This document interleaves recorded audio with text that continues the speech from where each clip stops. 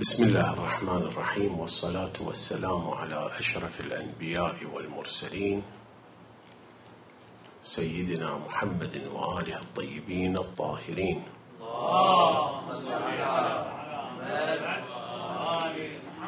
إن كانت إلا صيحة واحدة فإذا هم جميع لدينا يحضرون تقدم البحث في مفردات هذه الآية المباركة وفي لطائفها. وفي هذا البحث نستعرض التعاليم المستفادة منها. التعليم الأول الآية المباركة نص صريح في أن الناس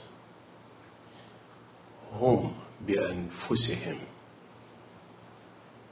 بأجسادهم وبأرواحهم يحضرون عند ربهم. وهذا ما يعبر عنه بالمعاد. المعاد من أصول العقيدة. التي دل عليها العقل وتواتر فيها النقل. يجب الاعتقاد بالمعاد وهذا الاعتقاد من ضروريات الإسلام وضروريات العقيدة. لا يجوز للإنسان المؤمن بالله أن ينكر المعاد. وهذه القضية اتفقت عليها جميع الشرائع السماوية. لا توجد شريعة سماوية تنفي المعاد وأتباعها لا يؤمنون بالمعاد. والحكماء وأهل المعقول. أيضا قالوا بضرورته من الناحية العقلية وأقاموا أدلة وبراهين كثيرة على هذه الحقيقة. ولأن العقيدة بالمعاد تتعلق بإيمان الإنسان وبحاضره وبمستقبله. ووقعت فيه اختلافات كثيرة بين أصحاب المدارس والآراء. وجدنا من المناسب أن نستفيد من هذه الآية المباركة ونقف بعض الشيء على ما يهم المؤمن في عقيدته بالمعاد. وسنبحث المسألة في ثلاثة أمور. الأمر الأول في حقيقة الموت. هذه القضية لأنه يبنى عليها المعاد لا بد من إعطاء نظر الدين في قضية الموت. لا شك في أن الموت حقيقة واقعة. وكل نفس ذائقة الموت. لا ينجو من هذه الحقيقة أحد من المخلوقات. لا إنس ولا جن ولا ملك فضلا عن الموجودات الدانية منها. كل نفس ذائقة الموت. كما لا يختلف فيها نبي أو وصي أو إنسان عادي ملك أم فقير الكل يموت. هذه حقيقة وجدانية واقعية لا يختلف عليها اثنان. الموت عند أهل اللغة عرف بضد الحياة. وهذا التعريف منطقيا مشير إلى المعنى وليس بتعريف حقيقي. إما لأن الموت بدرجة من الوضوح بحيث يتعذر تعريفه. وإما بدرجة من الخفاء بحيث يتعذر تعريفه. فلم يجد مناصا أهل اللغة من تعريف الموت إلا بقولهم هو ضد الحياة.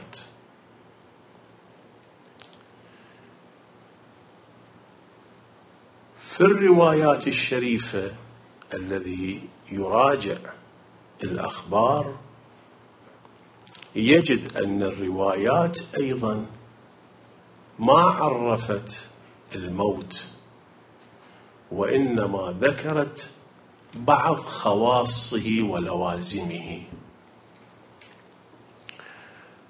مثلا الإمام الصادق صلوات الله عليه قيل له صف لنا الموت قال هكذا هذا نص الرواية حتى لا انقل المضمون. قال هو للمؤمن كأطيب ريح يشمه فينعس لطيبه فينقطع التعب والألم كله عنه. هذا بالنسبة للمؤمن. كأنه فد عطر يقرب يم أنفه يشمه ينعس يزول آلامه وتزول أتعابه مال الإحتضار مال الأمراض. فد مرة يشوف نفسه خلاص انفصلت روحه عن جسده. وللكافر كلسع الأفاعي. ولدغ العقارب وأشد. هذا هم بتفصيل من الناحية التكوينية والفيزيائية شلون هالشكل يكون كلسع الأفاعي ولدغ العقارب بالنسبة للكافر وشلون يكون بالنسبة للمؤمن. في بعض الأخبار الأخرى أن الموت والحياة كلاهما خلقان لله عز وجل. هم الموت خلق وهم الحياة خلق. فإذا دخل الموت في جسد الإنسان ما من عضو ما من خلية يدخلها الموت إلا وخرجت منها الحياة. وكأنه شيئان أحدهما يدخل والثاني يخرج. هذا اللي في الروايات وارد هالشكل. ومن هذا يتضح بأن الموت حقيقة وجودية مو حقيقة عدمية. هو أمر وجودي وليس بأمر عدمي. فالموت وجود آخر للإنسان لا فناء له ولا انعدام له. الموت هكذا بالمنظور المستفاد من الروايات. العرب كانت تعرف كل شيء ساكن بأنه ميت.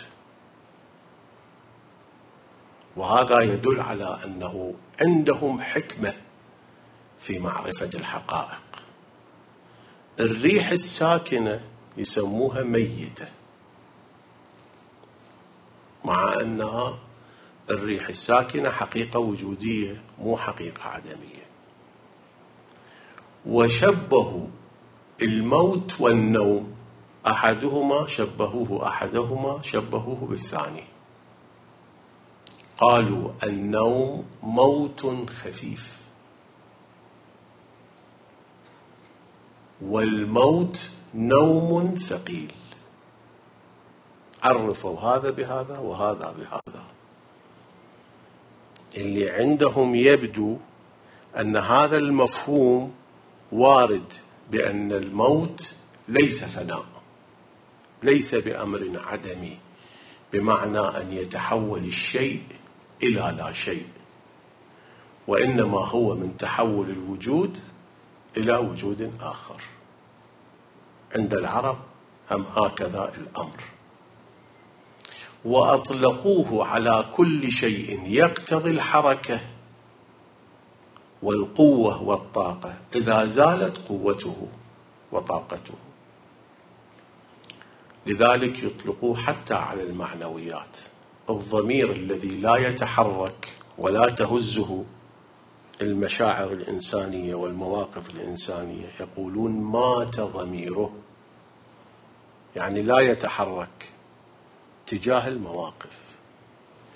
العقل البليد الذي لا يتوقد ولا يدرك الأشياء كما ينبغي يسموه عقله ميت. الأخلاق السيئة أيضا يعبرون أخلاق ميتة وهكذا. فاذا حتى في اللغة وعند العرب الموت هو سكون الشيء. مو فناء الشيء مو انعدام الشيء. في الروايات الشريفة أيضا هكذا الموت عبارة عن انتقال الإنسان من عالم الحضور والشهادة إلى عالم الغيب. هذا هو الموت.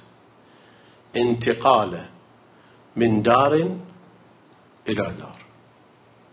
في الرواية الشريفة خلقتم للأبد.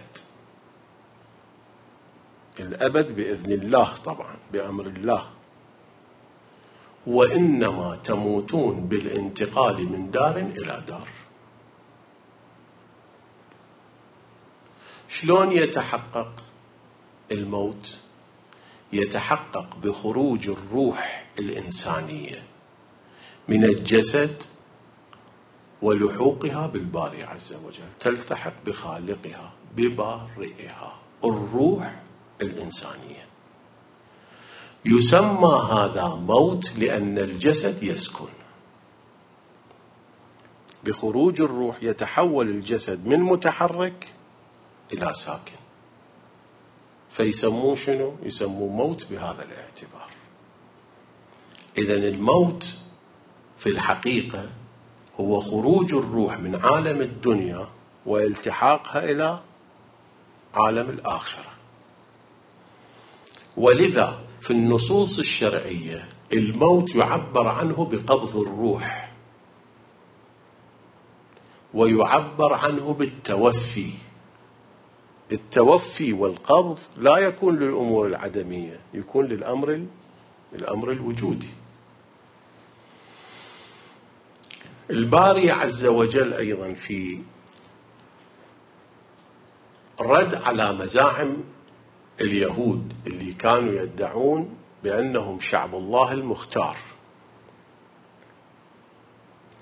الباري عز وجل رد هذا المزعم منهم بأمر سأذكر لكم الآية المباركة ولكن قبل هذا نسأل سؤال.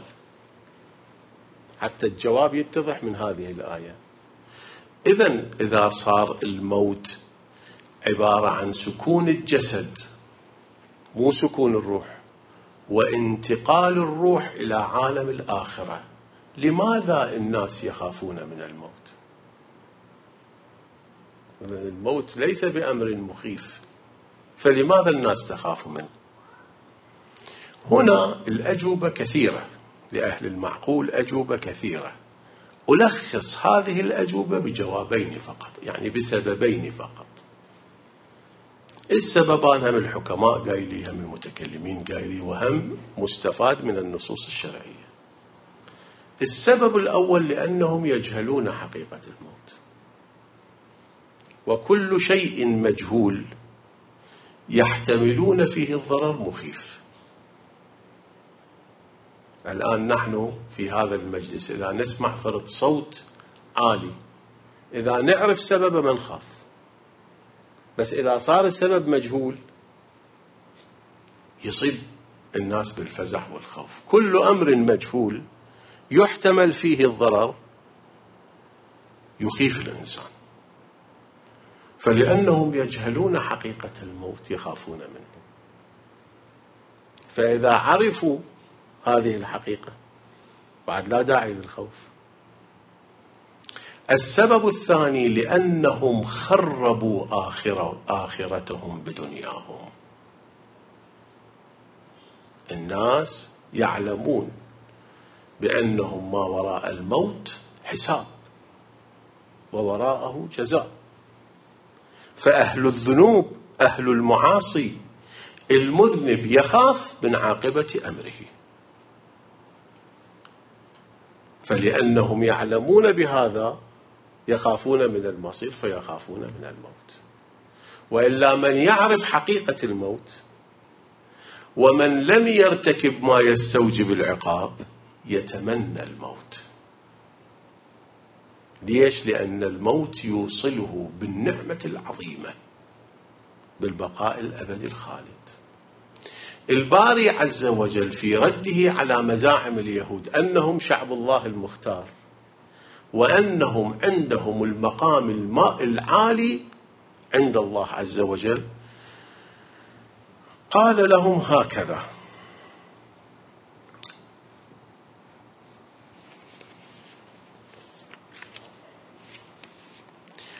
قل إن كانت لكم الدار الآخرة خالصة. لكم الدار الآخرة عند الله خالصة. قل إن كانت لكم يعني لليهود لأن هالشكل كانوا يدعون. الدار الآخرة عند الله خالصة من دون الناس. إذا هالشكل تقولون كلامكم صحيح فتمنوا الموت إن كنتم صادقين. ولا يتمنوه أبدا بما قدمت أيديهم. ما يتمنوا والله عليم بالظالمين. إذا الباري عز وجل في هاي الآية يشير إلى أمرين. الأمر الأول أن الإنسان المؤمن الصالح يتمنى الموت ولا يخاف منه. ليش؟ لأن الموت يوصله إلى مناه يوصله بربه. الأمر الثاني أن الذي يخاف الموت يعني عنده ما قدمت يداه عند ذنوب وعند معاصي يخشاها ويخاف منها. الشواهد على هذه عديدة من هذه الشواهد ما رواه الشيخ الصدوق رضوان الله عليه في الأمالي. قال لما أراد الله تبارك وتعالى قبض روح إبراهيم عليه السلام أن يقبض روحه أهبط ملك الموت. فقال السلام عليك يا إبراهيم. قال وعليك السلام يا ملك الموت. أداع أم ناع؟ أداع يعني جاي تدعوني إلى الموت أرافقك فأموت. أم جاي تنعالي فرد شخص عزيز علي ستقبض روحه. أداع أم ناع؟ قال بل داع يا إبراهيم فأجب. هنا محل الشاهد. قال إبراهيم عليه السلام فهل رأيت خليلا يميت خليله؟ إبراهيم بدرجته العظيمة لابد يقول هذا الكلام حتى هالمعنى يوصل لنا حتى نعرف هذا المعنى. إذا ما كان يقوله وما تصير هاي المحاورة هذه الدرة العظيمة ما كانت تصل لنا ما كنا نفهمها. فهل رأيت خليلا يميت خليله؟ قال فرجع ملك الموت حتى وقف بين يدي الله جل جلاله لأن يعني هو ما عنده صلاحية الكلام ملك الموت. جواب. فقال إلهي قد سمعت ما قال خليلك إبراهيم. فقال الله جل جلاله يا ملك الموت اذهب إليه وقل له هل رأيت حبيبا يكره حبيبه؟ هو قال هل رأيت خليلا يميت خليلا؟ الله عز وجل يقول هل رأيت حبيبا يكره حبيبه؟ إن الحبيب يحب لقاء الحبيب. إذا الموت بحسب هاي الرواية شنو هو؟ لقاء مع الله عز وجل. انتقال من عالم داني إلى عالم عالي من عالم مادي إلى عالم معنوي. من عالم محفوف بالرذائل والنواقص إلى عالم محفوف بالكمالات والفضائل. لقاء مع الله عز وجل. فالمؤمن لا يخاف الموت وإنما يتمناه. ولذا ورد في الروايات أن أمير المؤمنين عليه السلام كان ينتظر الليلة التي ينتقل فيها إلى الله عز وجل.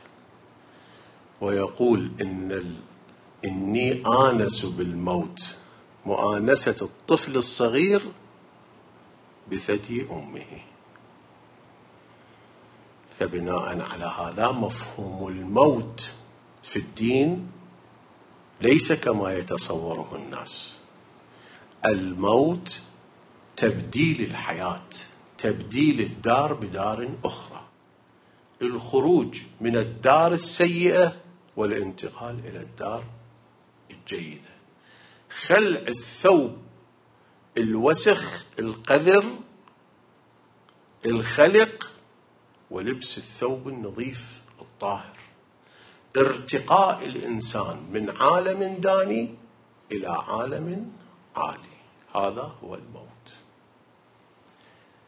فهو ليس بأمر عدمي وإنما هو أمر وجودي.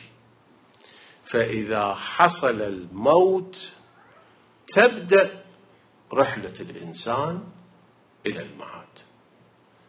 هذا هو الأمر الأول. الأمر الثاني. الأقوال في المعاد.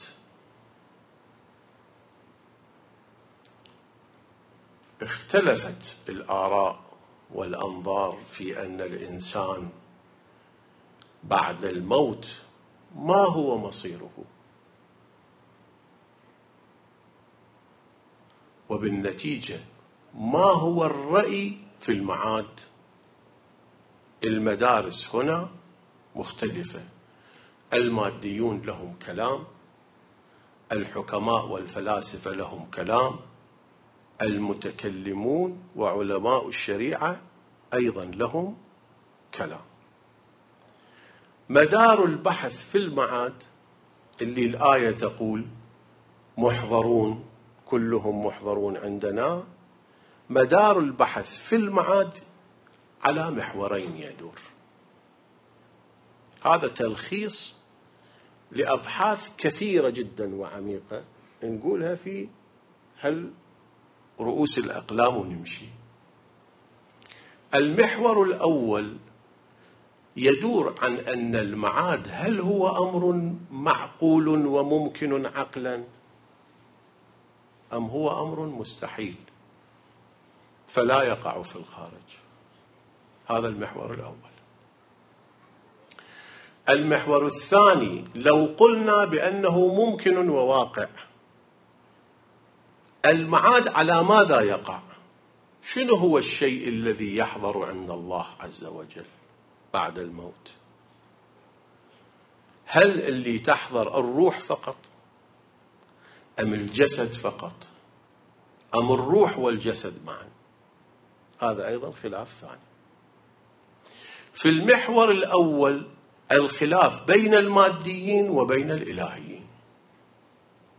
بين الإلهيين وبين الملاحدة. المحور الأول يدور بين هاتين المدرستين. المحور الثاني بين نفس الإلهيين. أكو خلاف في أن المعاد معاد روحاني أم معاد جسماني أم معاد روحاني وجسماني.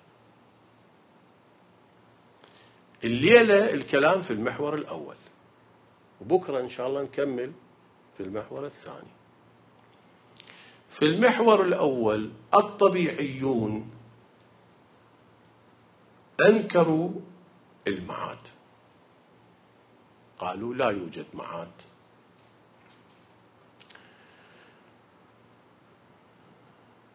ومن الطبيعيين الملاحدة أصل الدعوة عندهم تقوم على ركنين. اللي أنكروا المعاد دعواهم تقوم على ركنين. الركن الأول إنكار المبدأ. يقولون لا يوجد خالق لهذا الوجود. اللي ينكر وجود الخالق لا مناص في أنه ينكر المعاد. لأن المعاد أصل ولكن من فروع المبدأ. المبدأ والمعاد بينهما أكو ملازمة. من أنكر المبدأ لابد أن ينكر المعاد. وهم حيث أنكروا المبدأ النتيجة شنو؟ أنكروا المعاد. هذا الركن الأول الذي تقوم عليه نظرية الإلحاد. المحور الثاني أن المعاد من الأمور غير المحسوسة لا نحسها. وكل أمر غير محسوس هو غير موجود. هاي هم كبرى وصغرى وبها هم نتيجة. اذا خلاصة ما يقوله الملاحده كلامهم كثير بس حينما نلخص هذا الكلام في هذين الركنين. لا مبدأ فلا معاد لا محسوس فغير موجود. هاي هي النتيجة. لدى التأمل فيما قالوه دعواهم في ركنيها باطلة. أما الركن الأول الجواب عنه من وجوه. الوجه الأول نبني على الأصل الموضوعي فقط للتذكير ما راح أقف عنده طويلا. إذا قامت عندنا أدلة المبدأ تبطل هذه الدعوة.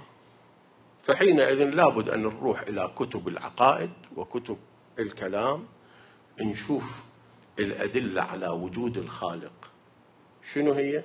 فإذا تنبت الأدلة وهي تامة هذه الدعوة باطلة. تصير ما نقف عند هذه نوكلها إلى محلها. بس ما نريد أن نناقش به هنا هو وجهان فقط. الوجه الثاني منطقي. مبني على قاعدة منطقية خلاصتها. حينما نتأمل في كلام الملاحدة في المعاد هم لا يقولون بأن المعاد مستحيل مستحيل عقلا. لا أحد من العقلاء يدعي بأن المعاد مستحيل عقلا مثل جمع النقيضين. لأنه أمر واقع. ممكن الوقوع. سموه واقع. ممكن الوقوع. العقل لا يرى بأن وجود المعاد يوجب التناقض. التناقض هو المحال. فهل وقوع المعاد ووجود المعاد يوجب التناقض؟ لا. لذلك الملاحدة لا يقولون بأن المعاد مستحيل الوقوع. يقولون نحن لا نعلم بوجود المعاد.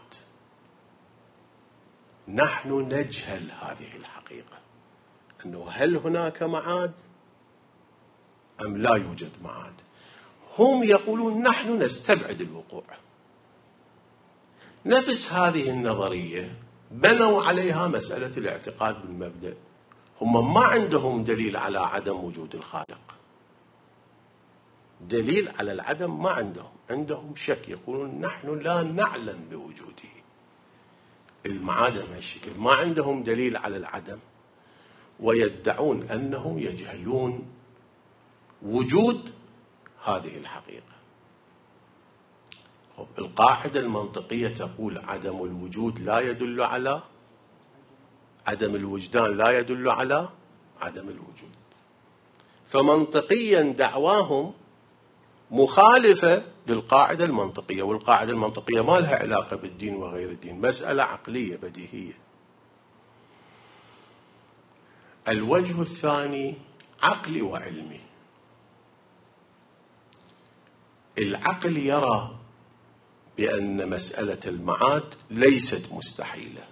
هذا مسلم. هي ممكنة الوجود. وربما ما هو ممكن الوجود في ذاته يصبح واجب بسبب الغير.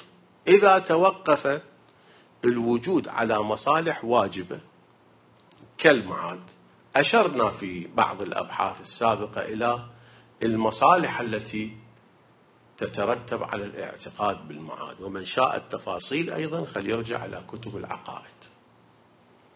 فالمعاد في نفسه ممكن بالذات ولكن بالعرض هو واجب الوجود. بالعرض واجب الوجود. لا يصير خلط بين واجب الوجود بالذات وواجب الوجود بالعرض. هذا نلفت النظر إليه. بسبب الحكمة يصبح واجب وجوده المعاد. عدم وجوده يختل نظام الحكمة. تفصيله في كتب العقائد. زين. من جهة أخرى العقل حينما ينظر إلى أن المعاد ممكن الوجود وهو قاصر عن إدراك هذه الحقيقة. شنو هو الطريق لإثباته؟ في كل القضايا. طبعا هاي قاعدة عامة في كل العلوم والمعارف. ما يقصر عن إثباته العقل بالحس. شنو يكون الطريق إليه؟ إخبار العالم الصادق. هذا يصير طريق أضرب لكم مثالين. أكو علم موجود ويدرس في الجامعات تعرفوه كلكم يسموه علم الأحياء. علم الأحياء يقوم بدراسة كل الكائنات الحية في هذا الوجود. كثير من الكائنات الحية إحنا ما نحسها ولا ندركها. البكتيريا مثلا إحنا ما نحسها ولا ندركها مع إنها عايشة ويانا البكتيريا.